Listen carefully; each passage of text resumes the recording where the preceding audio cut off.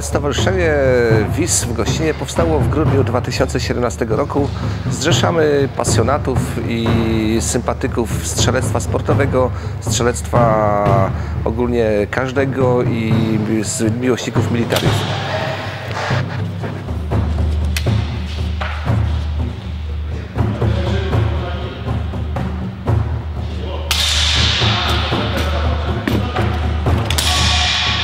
Chciałbym tutaj powiedzieć, że nie ma limitu wiekowego. My chcielibyśmy propagować strzelectwo, uczyć, pomagać, yy, organizować wyjazdy na zawody jakieś w okolicy. Wszystkie możliwe formy spędzania czasu wolnego na strzelnicy nas interesują.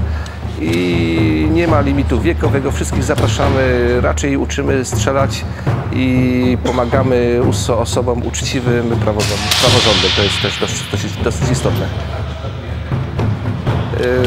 No, okazuje się, że w powiecie kołobrzeskim nie ma strzelnicy. My chcielibyśmy jako stowarzyszenie doprowadzić do powstania strzelnicy w Gościnie lub y, na terenie gminy.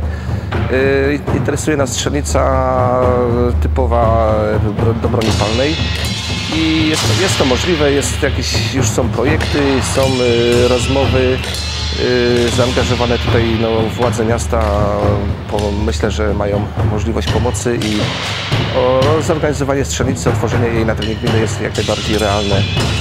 Y, Wiem, że pro- prosperują bardzo dobrze strzelnica w Białogardzie, w Trzebiatowie, w Koszalinie prywatna i, i, i mają y, duży ruch i, i to jest tutaj koło brzegu i w Gościnie tym bardziej brakuje strzelnicy. Pora na gościnę. Pora na gościnę.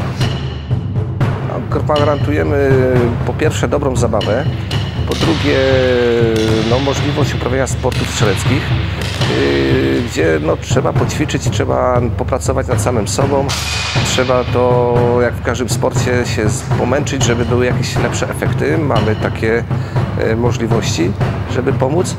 I co jeszcze? No, chcielibyśmy z, doprowadzić do powstania klubu sportowego strzeleckiego w Gościnie, bo też już z kolegą robimy uprawnienia trenerów i instruktorów strzelectwa.